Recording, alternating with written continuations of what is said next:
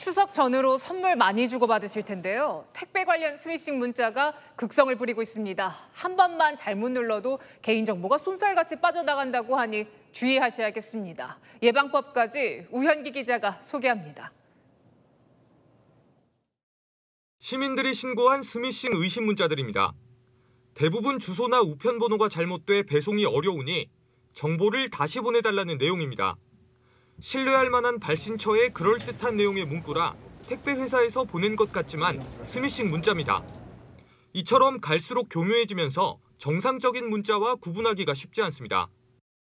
실수로 첨부된 링크를 누르면 금융정보나 개인정보를 빼가 큰 피해로 이어지기도 합니다.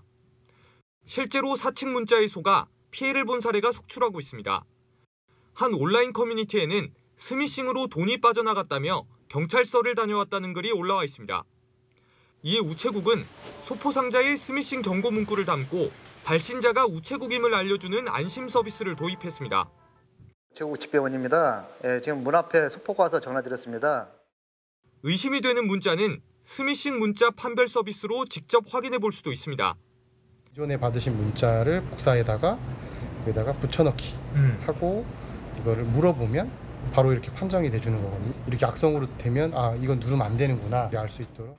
정부는 범칙금이나 지인의 부고 등을 악용한 스미싱도 늘고 있다며 주의를 당부했습니다. 채널A 뉴스 우현기입니다.